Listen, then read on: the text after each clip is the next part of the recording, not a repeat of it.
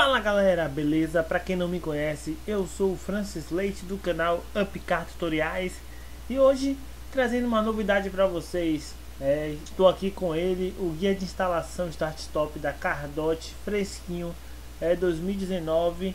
É, para quem não sabe, a cada ano é, a Cardot ela produz atualizações né, para o aparelho. Né? O que são essas atualizações? É, ah, eu não gostei de tal coisa então a gente passa para eles, reporta para eles e eles vão atualizando, certo? Então tem algumas novidades né, para mostrar para vocês. Eu já uso o Start Stop tem um tempo, é, eu não deixo de usar porque é realmente top das galáxias. É, temos aqui o manual, né, temos o site, é, o WhatsApp do vendedor para quem quiser entrar em contato, né, tem que ser em inglês. É, o, o, o manual, né, desde 2018 é bem parecido. É, fio azul, fio de motor de partida. Esse fio aqui você vai ligar ele. A ignição, quando você gira a chave, ele manda 12 volts lá para o motor de partida. É, o fio 1 é aquele que quando você gira a chave é, para a posição on, quando você dá partida, ele não cai para 0 volts. Todos esses fios aqui você encontra na ignição tranquilamente. Temos o fio verde, que é o ON 2. Temos aqui o fio preto, né, que conecta a chapa do veículo.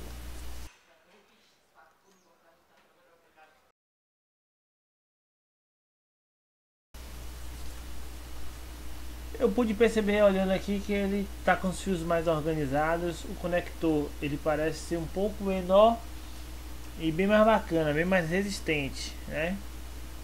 Então nós temos aqui algumas funções, fio roxo, que é o pino 1, né galera? Uma dica que eu sempre dou para vocês, se baseie sempre pelo pino, porque cor às vezes pode mudar, certo? Mas aqui, o pino 1 é o abrir porta-malas, né? Você vai conectar lá no motorzinho do, do porta-malas ou no botão, se seu carro tiver um interruptor, você conecta lá no interruptor, beleza? É o negativo, ele é negativo, saída negativo nós temos um marrom que é pisca-alerta. É, você vai ligar ele no fio referente ao pisca-alerta. O preto é o negativo, chapa. É, encontra lá um parafusinho, coloca um terminalzinho olhar e passa seu negativo perfeitamente. Não esqueça de dar uma lixada ao redor para que não venha causar mau contato. Temos outro pisca-alerta temos aqui, ó, detectar motor ligado. A galera tem muita dúvida com relação a esse fio aqui, esse azul, né, que é oil patch. Né? Para que serve esse fio? Esse fio aí, nessas atualizações, nos alarmes mais novos, ele reconhece é, esse fio, detecta se o motor tá ligado. Para quê? É, para duas coisas. Para quando o carro não pegar de primeira, ele dá partida novamente ele vai tentar, né, até o carro pegar, você colocou álcool. Você abasteceu seu carro com álcool. E acabou que tempo frio ele não pegou direito, então o próprio alarme ele vai tentar dar a primeira partida, uma partida rápida padrão, não conseguiu dar a segunda partida um pouquinho mais demorada e dar a terceira partida, é ainda mais demorada ainda. Se o carro não ligar, ele trava e desliga tudo, certo? É, e além disso, se você deixar o carro morrer, se essa função aqui não tiver ativada, você vai ter que desligar o alarme start stop e ligar de novo. Isso atrasa um pouquinho, é um pouco chato, né? Para quem tem costume de estar com a chave ali, só ligar novamente, carro morreu, liga novamente. É, não, é, não é comum quem dirige deixar o carro morrer assim fácil, mas acontece. É, temos aqui amarelo preto, normalmente aberto. Isso aqui ó, são os fios da centralina de trava elétrica. Para quem não sabe, esses alarmes mais novos da Cardot, eles já vêm com a centralina de trava elétrica. Então não precisa você ficar se preocupado, ah, eu preciso de um pulso misto, preciso de um pulso positivo, de um pulso negativo. Fique despreocupado porque você vai ter com esse novo alarme. Ele é uma centralina, a mesma centralina um exemplo positron, né, que controla lá o motor para subir e descer, é, já tem dentro do alarme, é, que são esses fios aqui. freio de mão, o que faz aparecer aquele símbolozinho no painel de stop é justamente uma microchave que tem ali no freio de mão. Quando você puxa o freio de mão, ele manda negativo. Então você vai utilizar aqui, certo? O carro só vai dar partida com freio de mão levantado. Se sua transmissão for automática, tranquilo. Carro com transmissão automática só liga com o carro no, no, no parque, né? No ponto morto.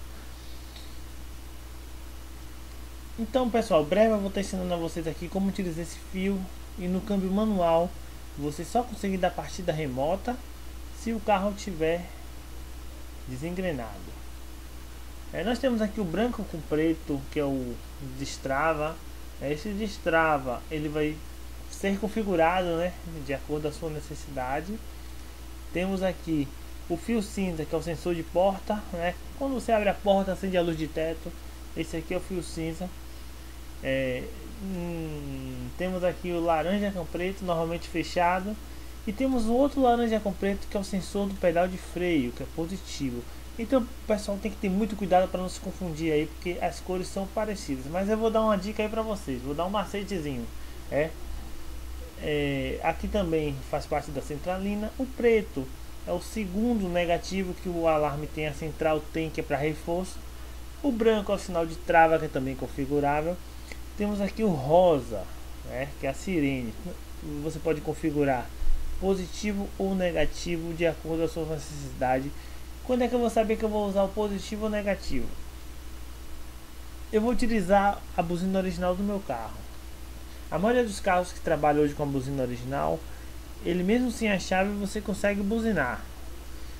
Dentro da buzina ali, ele trabalha né? Quando você aperta a buzina, ele manda um negativo para acionar a buzina. Então, se você for fazer desta forma, você vai utilizar a, o pulso de sirene negativo. Mas se você for ligar uma sirenezinha 12 volts, aí você vai utilizar a, o, o, o positivo, certo? E o laranja é normalmente fechado. Temos aqui é, onde você encaixa a antena, as duas antenas é o botão start stop o sensor de choque temos aqui o botão mestre aqui o teclado para desbloqueio tanto o sensor anti-choque e o sensor de desbloqueio são opcionais certo? E aqui a dica que eu vou dar para vocês que no manual original não veio mas eu deixei aqui grifado em vermelho. Ó pino 6 8 10 12 14 e 16 vocês vão pegar esse fio na hora da sua instalação e vai passar fita isolante nele, né? Esses fios juntos, que esses fios são referentes são referentes à centralina de trava elétrica. No caso aqui, ó, temos aqui do outro lado é, fio que se repete, freio de mão, fio 7, é, e o laranja com preto que é o, o 11. Isso aí confunde bastante, né? Muita gente tendo dúvida com relação a isso, porque ligou errado. Ligou o laranja que era para ligar é, desse lado aqui, ligou da centralina. Uma coisa diferente. Esse start aqui ele não tem mais aquele micro switch. Eu acho isso uma boa uma boa atualização. Por quê? É, ele tinha umas chavinhas que você dizia lá o, o que você queria, a configuração que você queria. Ah, eu quero pulso positivo da sirene, pulso negativo da sirene. O que acontece, galera? Aqui a gente vai reduzir o número de fio, né? Porque eu tinha que, que ligar lá o, o, o fio configurador da sirene. E eu vou abrir a central né, e vou dizer aqui o que, que eu quero. Ó, temos três jumpers aqui dentro. O jumper 1 detecta, detecta sensor de combustível. É, se você não quer, não está afim de ligar o oil patch, né, o fio azul, o fio que eu falei para vocês, é que é o detecção de combustível, você vai colocar o jumper no off, certo? O jumper 2 é um antifurto, né, que o, a versão anterior também tinha, que você teria, tinha que escolher, um antifurto. E o jumper 3 é o acionamento da sirene, com positivo ou negativo, beleza? Aqui nós temos aqui a instalação do central de travas elétricas, né? é bem simples. É bem simples. O que a gente usa aqui, geralmente no Brasil, é, é o tipo negativo, tipo positivo, é, polaridade reversa a gente também usa muito. Por exemplo, o gol. Eu vou instalar no gol, meu gol não tem a centralina, certo? Ele não tem um motorzinho na porta do motorista, então eu posso usar a própria central do, da Cardote, né? Ou seja, ah, meu carro é muito complicado, eu vou colocar um motorzinho universal e para abrir, simular como se eu estivesse abrindo a porta do motorista, abrindo e fechando, que a, a abrindo do motorista vão abrir todas as portas. Dá para fazer perfeitamente. Aqui nós temos outras formas de operação, mas que nós não utilizamos aqui no Brasil. Geralmente isso aqui, ó, é operação a ar. Isso aqui geralmente é para carreta 24 volts, certo? Muito difícil, você quase que não encontra. Né? Nós temos aqui a função do nosso controle se você pressionar uma vez ele vai travar, né, o botão de tranca. Se você segurar ele por dois segundos, ele vai entrar no modo mudo. É um modo bem bacana aí que fica parecendo os carros originais de fábrica. Você se afasta, encosta e não vai ter som algum. É bem bacana. Temos aqui o botão remoto, né? Tem um símbolozinho aqui de uma anteninha do Wi-Fi, né? É, você consegue ligar o carro, pressiona por 2 segundos, pressiona novamente, ele desliga o carro. Lembrando que você só consegue desligar o carro se você não abrir a porta. Temos aqui é, e esse botão também do meio, o terceiro botão, ele tem a função de localizar. Se você apertar uma vez, ele vai piscar o, as setas e tocar sirene, beleza? Temos aqui o de destranca, pressiona uma vez ele vai destrancar, se você segurar também por aproximadamente 2 segundos, ele vai abrir o porta-malas. Nós temos aqui, ó, se a gente segurar o botão tranca e destranca por 3 segundos, ele vai desativar a função PKE. Onde é que eu utilizo muito isso? Eu vou deixar meu carro no lava-jato. Eu faço isso porque o pessoal que está lavando deixa a chave longe. E se a chave estiver longe, ele vai ficar com o carro travado, ou a, a, até mesmo ter que ficar chegando perto e afastando ele, travando, destravando aí e ter um gasto maior aí na, na minha trava elétrica. Aqui é o método para desbloqueio do code, muita gente tem dúvida com relação a isso. Então é isso aqui mesmo, pessoal. A gente tirou a antena aqui, é, tá aqui ao redor, colocou a chave, no caso aqui ele está deixando a chave, no meu caso eu tiro só o codezinho e enrolo aqui com fita isolante e escondo lá por dentro do carro, beleza? Ah, Francis, mas o code vai ficar lá, o pessoal vai fazer ligação direta.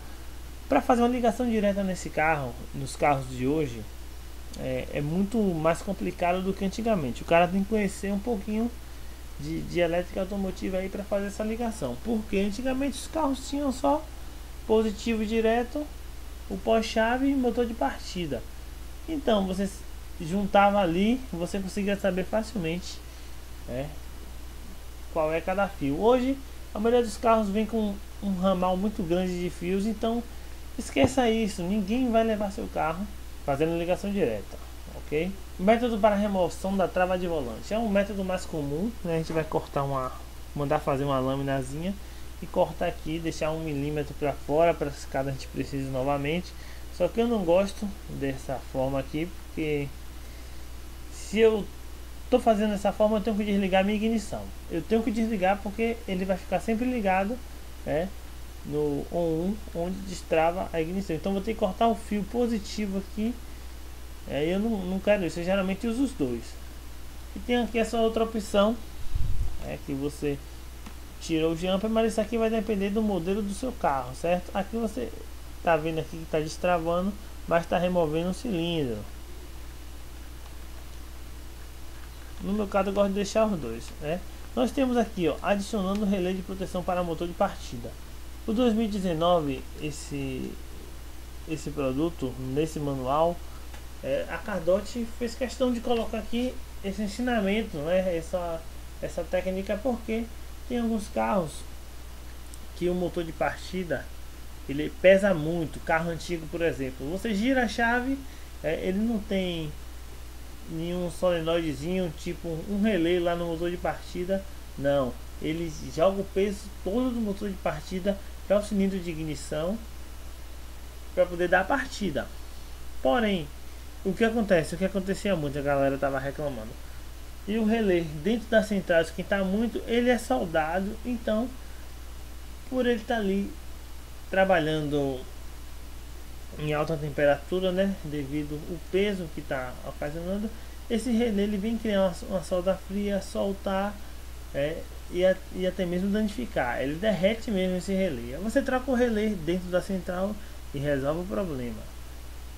É, então tá aí, a solução é essa, colocar o relé de proteção. Aqui ele está mostrando no motor de partida, né, no fio de chega a 12 volts quando você gira a chave. E aqui no 1 mesmo, na, na de ignição, você pode mandar aí que vai ficar beleza. Nós temos aqui o, o módulo GPS. Esse módulo, gente, é muito bom, muito bom. É, temos aqui algumas dicas. É, e para você que tem mais dúvida, tem um vídeo aí mostrando funcionamento, mostrando instalação. Eu vou deixar o link aí para vocês, beleza? Qualquer dúvida pode deixar aí na descrição. Se tiver dúvida para instalação também, é, nós estamos aqui para ajudar. Só isso. É.